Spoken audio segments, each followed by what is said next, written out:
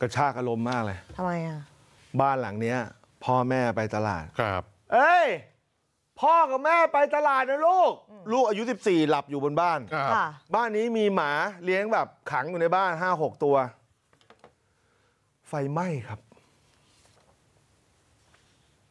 โอ้บ้านวังตะภาพ ตอนนี้เจ้าของอยู่ไหนไม่รู้ครับ รถอยู่ไหมรถเนี่ย เอารถไปอัพมาอยู่เนี่ย จะอยู่ไหมไม่อยู่ครับไม่อยู่ ตอนนี้ไฟกำลังลุกอย่างแรงเลยครับ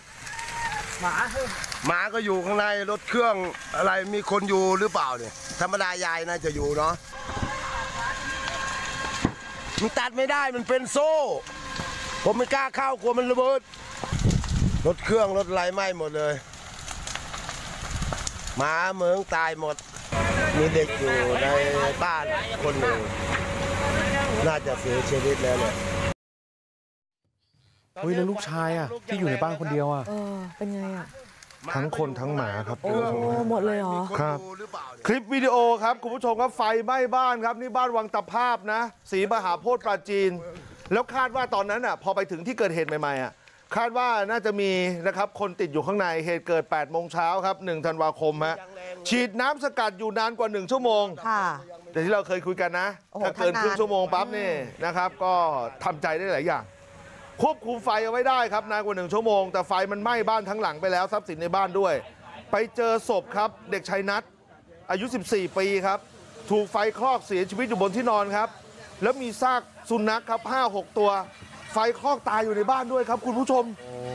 โอ้ยังยังยังความความน่าสงสารความน่าเวทนายังไม่หมดคุณผู้ชม ระหว่างที่เจ้าหน้าที่นะเข้าไปดับไฟนะ แม่ครับ แม่ร้องไห้เป็นลมพับไปแล้วพับไปอีกครับ เจ้าหน้าที่กับชาวบ้านต้องช่วยกันมากอดมาปลอบนะ เจ้าหน้าที่ก็ปฐมพยาบาลไป จากนั้นพ่อแม่ของเด็กคุณผู้ชมรู้ไหมทำยังไง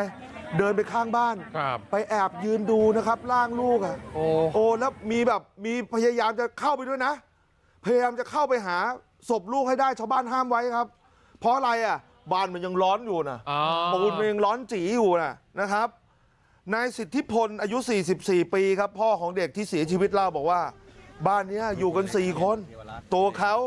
แม่แล้วก็ลูกอีกสองอ้าวแล้วลูกอีกคนไปไหนอะ ลูกคนโตไปเรียนกรุงเทพอืมไม่ได้อยู่ที่นี่เจ็ดโมงครึ่งตอนเช้าเขากับเมียก็ออกไปตลาดไปจ่ายตลาด ลูกเห็นนอนอยู่ใช่ไหมอะนอนก็นอนไปลูกไปพอกลับมาไฟไหม้หมดแล้ว หาลูกไม่เจอครับเจ็ดโมงครึ่งอะเจ็ดโมงครึ่งผมวิ่งมาเนี่ยคือมันโหมเต็มบ้านละอืมผมก็ต้องวิ่งลูกหาลูกชายก่อนละอืมแต่ไม่เจอ ไม่เจอครับวิ่งรอบบ้านหา พวกเพื่อนบ้านยังไงก็ไม่ที่เขามาเจอยืนยุงมุงอย่างนี้ไม่เจอลูก ไปพบอีกทีคือ ก็หลังจากที่รถดับเพลิงเข้ามาช่วยดับแล้วอะอืมถึงเข้าห้องลูกชายได้อืมแล้วก็เจอว่าลูกนอนอยู่บนเตียง นอนอยู่บนเตียงทำไมเขาหลับเยอะขนาดนั้น ลูกชายคนเนี้ยค่อนข้างหลับลึกนะจะเตือนนะครับ ก็คืออย่าให้มีเหตุหลังผม ก็คือการเล่นของเด็กอะครับ พวกโทรศัพท์เอ้ยแท็บเล็ตเอ้ยอะไรพวกเนี้ยขอให้ชาร์จเป็นที่เป็นทางเสร็จแล้วค่อยถอดมาเล่นสาเหอย่าตุเสียมคาเลย สาเหตุนี่ค่าจะเกิดจากไฟไหม้ใช่ เออเขาพูดเรื่องการเสียบชาร์จโทรศัพท์มือถือนะ เสียบชาร์จแท็บเล็ตด้วยอ่านี่แหละฮะก็เป็นอีกอีกข้อมูลหนึ่งนะนายสมคิดของนานะครับ ท่านผู้ใหญ่วางตะภาพเนี่ยเล่าบอกว่า พอได้รับแจ้งว่ามีไฟไหม้นะก็โทรดับเพลิงเลย โทรดับเพลิงแล้วรีบมาถ่ายคลิปเหตุการณ์ดู ตอนนั้นคือท่านผู้ใหญ่ก็ยอมรับว่าเข้าไปช่วยไม่ได้ ไฟมันแรงจริงนี่มีถังก๊าซด้วยนะครับ ถังก๊าซด้วยอะไรด้วย แล้วเขาเก็บเก็บอะไรด้วยไหมบ้านบ้านเนี้ยอะไรอะคือไม้พาเลทมีไม้พาเลทเพียบเลยนะครับ ต่อมามาทราบภายหลังเขามีลูกชายอายุ14 ปีติดอยู่ในบ้านครับ แต่ช่วยออกมาไม่ได้จริงๆฮะเบื้องต้นเจ้าหน้าที่พิสูจน์หลักฐานนะครับลงพื้นที่หาสาเหตุ ส่วนศพของเด็กอายุ 14เนี่ยพ่อแม่เขาจะนำกลับไปประกอบพิธีศาสนาที่เถินลำปางนะครับเหตุการณ์เกิดขึ้นที่ปราจีนบุรีครับ